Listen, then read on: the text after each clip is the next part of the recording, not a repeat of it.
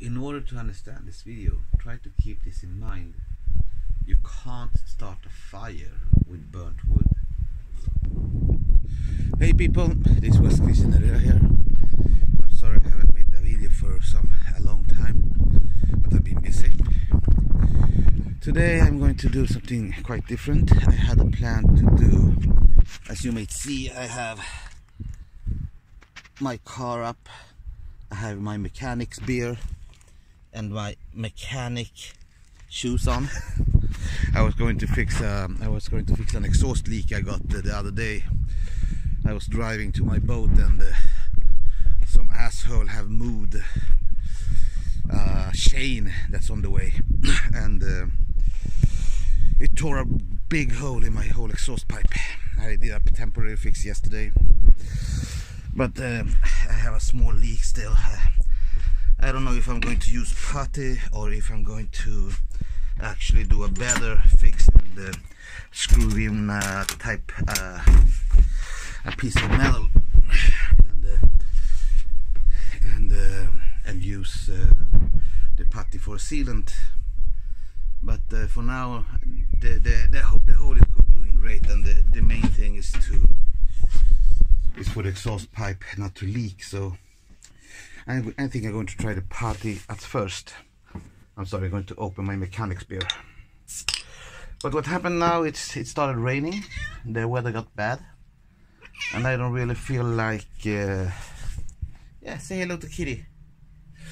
I don't really feel like uh, I don't really feel like uh, working underneath the car when it's wet on the ground and yeah so that's that. I'm going to cut it here. I'm going to get the charger for my phone. I'm back. I put the charger in my phone. It was it was running empty. Well now in this corona time I'm getting really sick of it. Uh, I had a, a, strange disease and it's over now but uh, it's very stubborn. It still wants to still doesn't want to leave completely it's what it is. I mean I'm in good health. But what I wanted to talk about it's uh, what I'm getting sick of it's actually the polarization between the people. Here in Sweden we have as you may know gone a different route than everyone else. And uh, we have a lot of deaths. If you compare to uh, Norway and Finland I mean if you take the population and uh, we, have much more death and our government. Are still just saying that uh, we had the bad luck that we didn't we wasn't able to protect our elders and, and stuff. But what they don't what they don't admit is it's it's actually the the political decisions and lack of acting that's come to this. But still we have to protect the economy. Uh, I've been um, talking a, a, long, a long time that uh, we should be acting proactively from the beginning and then we have uh, much less of an impact on the economy. We could still have the economy running people going to gyms and stuff while uh, while we did better tracking of the people that, uh, that, that was infected close the borders to infected countries and you know all, all that stuff and then we had uh, would have stopped the disease from the beginning. But uh, since we, our government seems to want to infect everyone so we can get the herd immunity, or what they think will happen, um, it's what it is, and we're, go we're going uh, we're going to have a lot of that. But now to the fun part, not to the, to the interesting part. I think I'm going to start with. Uh, um, this I think I'm going to start with uh, I want I want I want to talk about a comparison of um, of this disease or, or, any any viral disease with a wildfire actually. I was we were having a discussion in Quora about this virus and um, I came up with an analogy with a wildfire. I mean I mean I'm not a doctor but I've been studying a lot. I liked I love to gain information and so I made an analogy with a wildfire after my my understanding of the situation and I want to share it with you because it was actually a kind of good comparison of, of what are the different outcomes we can have and why. But to start with that, uh, I'm not so worried about Sweden. Um, if you take in the United States, we have a young, a lot of young people getting getting infected and uh, and uh, gravely so. But I think that has to do with obesity, actually, because if you look at the different risk groups, uh, there are type 2 diabetes, high blood pressure, cardiovascular disease, all those, all of those, I, I might call it systems, but uh, well, comorbidities, we can say that is, are actually very common in obese people. In Sweden, the general health is kind of good, and uh, we we don't have so much obesity. Well, in the younger generations, we're going starting to have it, but uh, in the older generations, the obesity rate is kind of low,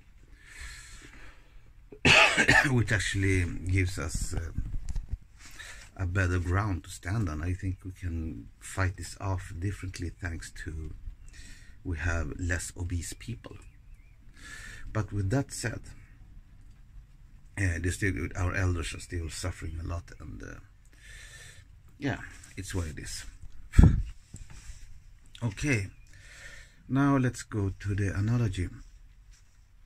There was a question in Quora.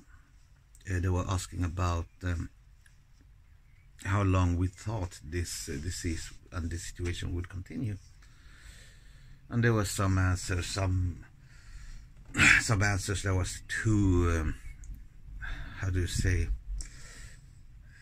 academic for, for most people to understand and there was some answers that was just plain stupid. And um, then I came to think about um, the Ebola outbreak we had a couple of years ago when they were talking about uh, P the, the, the, the base for the virus burning out and then I came to think about to compare this with a wildfire because there are a lot of similarities actually. Uh, what feeds a fire is actually wood, well, combustibles and um, and uh, something to oxygenate it, like um, oxygen. Without those two components, the, the, the fire can't survive. And if we can compare the people in a certain country, well, the, the population with um, with the wood, with the combustibles. We come to an understanding that the fire can't spread forever because when something is burnt up, it's burnt up. So assuming that we gain some kind of immunity, well, for one year or two years, or at least after getting infected, assuming that, the fire will burn out because it can't get any more combustible to to keep on spreading. So that's that's the risk that's why uh, infectious diseases that uh, that uh, need requires uh, close contact to spread seldom spreads too much because it kills off the whole population around and when everyone is dead they can't continue spreading the disease. But the, for instance I think it is cholera that can spread it through sewage where people use the use the rivers to drain the sewage. Then the virus could spread much longer without requiring um, uh, requiring um, uh, close contact and when you don't require close, close contact, the virus doesn't care if it kills out the, out the host or not. and another assumption, uh, another thing we have to realize is that uh, we, the people, we, we're, the, we're the hosts, we're actually the reproductive organs of the virus. Without us, it can't reproduce. If the, if the, if the virus can't spread, the virus will die off either by our immune system fighting it off or it will die off by killing the host.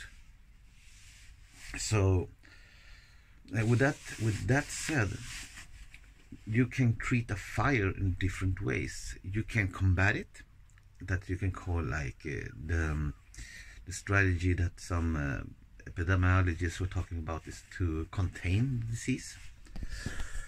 Or you can mitigate it, which we could say that you can also mitigate the fire. You can control the fire, burning it off slowly, or you can just let it let it burn out.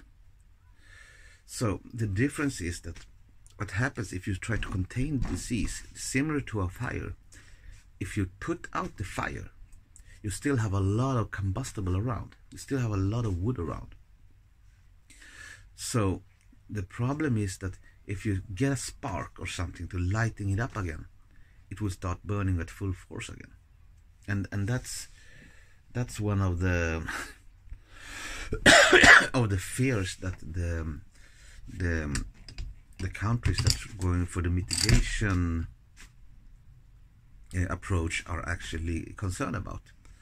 But we can also understand that if the whole world would close down for a month, we would actually eradicate the virus because if it can't spread from nobody, then it would die out either by killing the host or by the host killing the virus. And then we have no virus no more. But for that to happen is almost impossible. I think it's impossible. Uh, we have third world countries and um, we have also a lot of irresponsible people that uh, would uh, defy the quarantines and it wouldn't work due to the, the selfish nature of the human being. So it wouldn't work. People are idiots generally. Well, so with that out of the way, we have, we have to understand another thing. Like, look at China or South Korea. Now they are very concerned about the the, the disease coming back from people that are out in the world that we still haven't controlled the disease, which is um, a fear that it's um, how can you say that? I don't know the word in English but it's it's a it's a very rational fear because uh, if we don't uh, if we because they still have a lot of wood a lot of people that the fire can burn up. So so that's that's for that. It could work but then we need to as i said we need to control the whole world for, for a long time. Then when we're talking about the mitigation approach to to try to burn out the fire slowly and that's what they're talking about flattening this famous curve the fire will take a much longer time to burn out. Then we, we, we feed the wood slowly so it can burn out the wood slowly and then we get the, get this herd immunity that people are talking about. Uh, problem with this approach is that viruses tend to um, tend to um, first of all the economy would be shut down for a long time and the, economical problems will, will actually surpass the virus problem. Uh, I was looking at studies that they made from uh, from with with antibody antibody tests from Germany and Italy which shows that the death rates are so low, like 0.35, well, uh, yeah, 0.35% up to 0.5% when they count in the people that didn't was didn't show symptoms. So the death rates aren't so high, actually. but 0.5% um, of a shitload of people is a shitload of people, and that's what we have to understand there's a lot of people that's going to die if we spread it loose. And even if we do this with the mitigation approach and keep the hospitals running. But, as I said, viruses tend to mutate. And this is the case with, for instance, the common influenza virus, is that uh, it mutates very simple. It mutates every year. That's why we can get influenza year after year after year, because it's a different strain of influenza that comes back.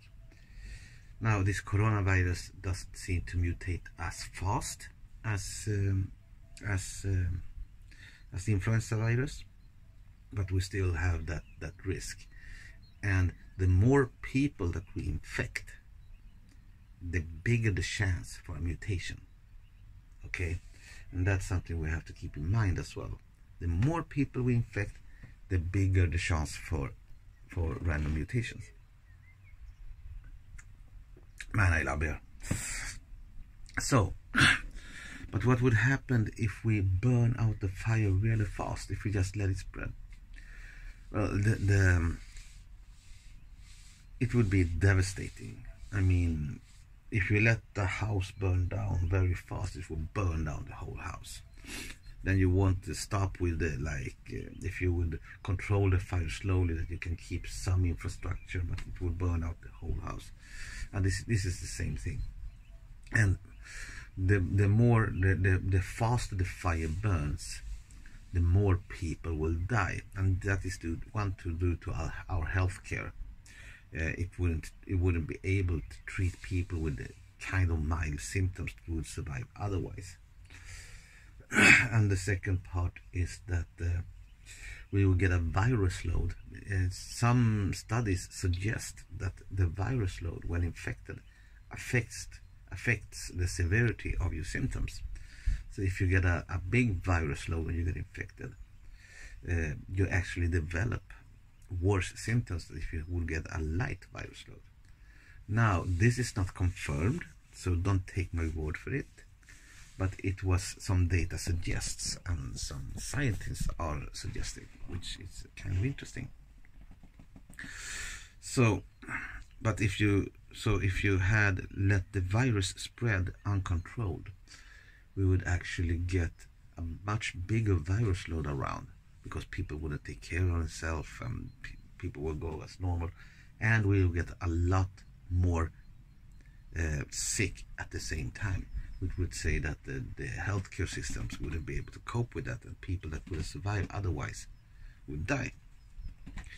Uh, so that's I think that's a kind of good comparison a good analogy that you can use if you want to explain for people uh, the how a virus spreads and how the different approaches works because uh, if you think that you have a spread or we say that every person spreads it to two persons in average what will happen in the end is that the the the the, pe the, the people that we will infect or the fire or the the, the um, the combustibles for the fire won't be there so you can't start a fire with burnt wood.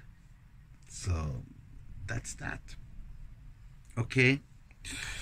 Uh, this video is getting long and I hope, I really hope you appreciate these videos as I said before. Um, I want to hear from you. I want to, you to know, first of all, I am not pro, I mean, I'm not, I'm not uh, my my what I think about how how this should be handled, I don't know. Uh, what I know is that we should have acted fast and hard. If everybody would have done that, we didn't wouldn't have a problem. but now the the shit is here. The, the, virus is here. It's spread all over. Stockholm is uh, it's a it's a hello. And what I find. Uh, very interesting is that yeah, when I've been in um, how can I say the poorer areas of Stockholm, I've seen that people take care of themselves. I've seen people with face masks. I've seen more social distancing. I've seen guards walking, looking at the shops and just uh, don't letting them. Um, oh, that's one. I've seen um, guards outside the shops, don't letting too many people in and that, which is good. And um, when you come to the area close to where I live, it's it's a more how can you say high society area. It's more people with money that live here. And what's interesting that I haven't seen anyone with a face mask over here. It's like, and uh, when I went went to the to the Biltema to buy car parts, people uh, behind me didn't maintain their distance. They were like very close to me. I had to tell them harshly, keep maintain your, your distance. Don't come close to me.